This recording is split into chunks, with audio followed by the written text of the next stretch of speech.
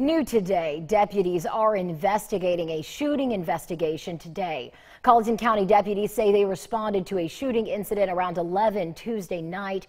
This happened at the 3000 block of Balua Road. Deputies say an individual that suffered from a gunshot wound was later pronounced dead. The name of the deceased has not yet been released. This is an active investigation. We will update you as soon as we learn more details.